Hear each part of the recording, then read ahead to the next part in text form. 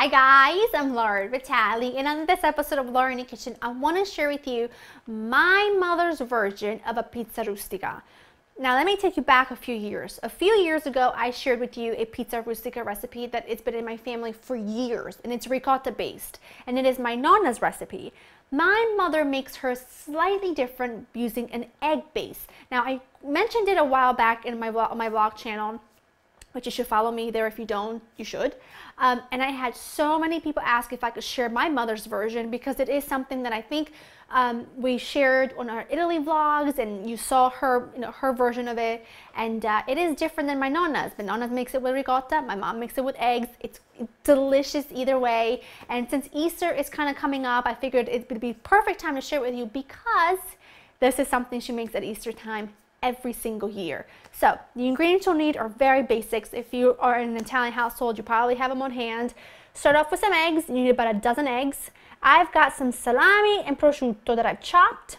Lots of provolone cheese. I've got Parmigiano Reggiano, a little olive oil, and some pizza dough. Now I already have some pizza dough pre-made. You need two one pound balls of pizza dough. And if you go to my website at laurainthekitchen.com and you just go into my homemade pizza video, the recipe for the pizza dough makes two one pound balls of pizza dough, which is perfect. But you can also go to your local grocery store and buy pizza dough, or you can go to your pizza local pizza shop and buy pizza dough from there. It's whatever you prefer. Now I've got my oven preheated to 400. I have a 12 inch round pan. This is from Italy, which gives, this makes for like the best crust ever. Um, I have this oiled. I'm to set that aside. Now I want to work with one piece of pizza dough at a time. Actually, let me set that aside for a second so that I can start whisking my eggs. Now I'm going to make this like my mother does by just using a fork to mix everything together because that's just what I've seen her do my whole entire life. You don't need to add any salt to this because you're adding a lot of cheeses and a lot of meat, so it's going to be really salty already, so you don't need to add any additional salt. So all I'm going to do is whisk the eggs until they're really well combined. You want to make sure that they're well whisked, and then we'll stir in everything else. Okay, now I'm going to add all of my cheeses and look at the Parmigiano, freshly grated, of course. All my lovely meats. This is so good. It's such a, um, this is why I've always had such a love affair with food because it just instantly transports you somewhere else. So now all I'm going to do is give this a really good stir. I want to mix everything together well. Okay, this is done. I also wanted to show you that I did switch pan, same exact pan, it's just like an inch smaller because it it makes for a puffier, more of a stuffed pizza. It's not as thin, I make it a little bit thicker.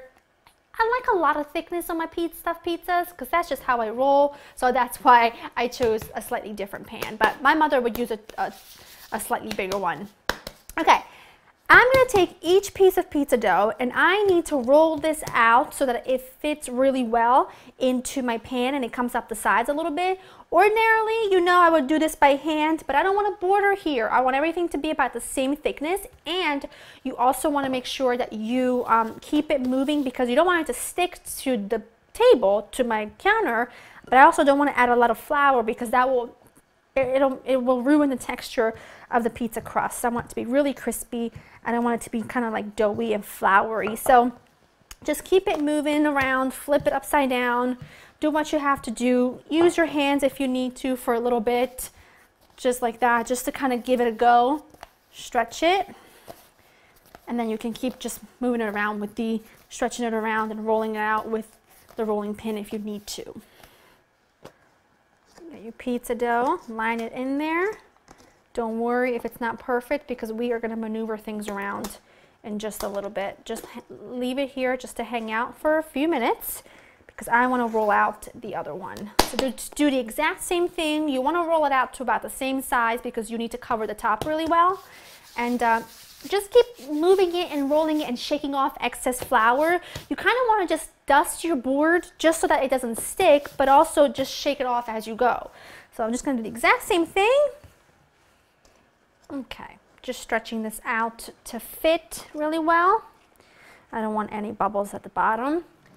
Add your filling. Oh, this is so amazing. I'm excited about it like you would not believe. And this is definitely not something you eat every day or every week, even every month. This is something we eat around Easter, usually always, um, is when we have this pizza.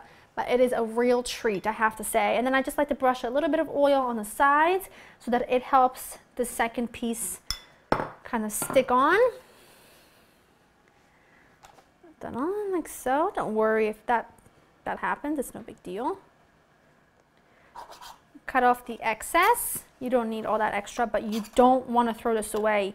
Make yourself some garlic knots, make yourself whatever your heart desires. It is way too precious to be thrown out. I'm gonna go with garlic knots because that's usually what I do when there's leftover pieces of dough like this because it's perfect because all I do is roll it around my fingers and it's good to go. Okay, then just kind of like pinch the sides like so and then just tuck them in. And if the egg, a little bit of the egg goes overboard, don't worry about it. It works out in the end. You shall see, my friend. Okay, almost done. Make a little slit at the top, a little bit of oil. And this is going to go into my oven preheated at 3, um, 375, 400 for about 45 minutes or so, or until it's a beautiful golden brown color. Show you what it looks like when it's done. My pizza baked for about 45 minutes and the thing is you need to make sure that it cools completely before you go ahead and cut it. In fact, the way I prefer eating it and the way we really eat it back home uh, in my mom's house, we I love it when she makes it the night before and puts it in the fridge overnight and then the next day it's cold. It just makes for the best like snack or light lunch. It's just the best.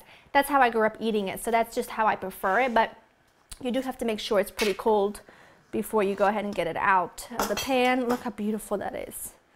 Oh, I love it. Look how nice and thick and gorgeous. Okay, let's give this a little slice.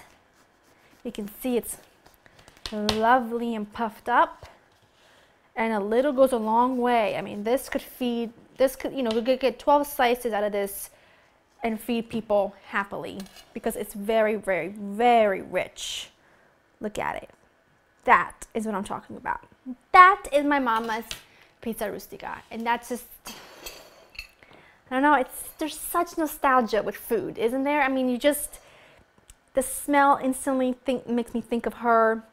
And this, in fact, not only makes me think of my mother, but it makes me think of my maternal grandmother that passed years ago. And um, I was about, I would say, seven or eight. And she would make pies like this, or she would make um, which is um, kind of like a baked mashed potato with stuff in it and breadcrumbs on top. And this, it just reminds me a lot of her, my mother's side of the family. Okay, gonna give us a bite. I did kind of cut into it. You can see what it looks like. I did destroy it a little bit, so don't mind. Mmm. I tell you, my mommy would be very proud. And this tomorrow for lunch is going to be like lunch of champions. Mmm. If I close my eyes, I like, picture myself on her balcony with a slice of this in my hand, no fork, no no um, plate, nothing. In my hand, it's kind of like an apple, because that's just how we roll back home. I hope that you enjoy spending time with me. I know so many of you were requesting this recipe, and I hope that you make it. I hope that you enjoy it, and I hope that it becomes a part of your family um, family classics. Thank you so much for spending time with me. You know the recipe will be waiting for you on laurainthekitchen.com, and I'll see you next time. Bye.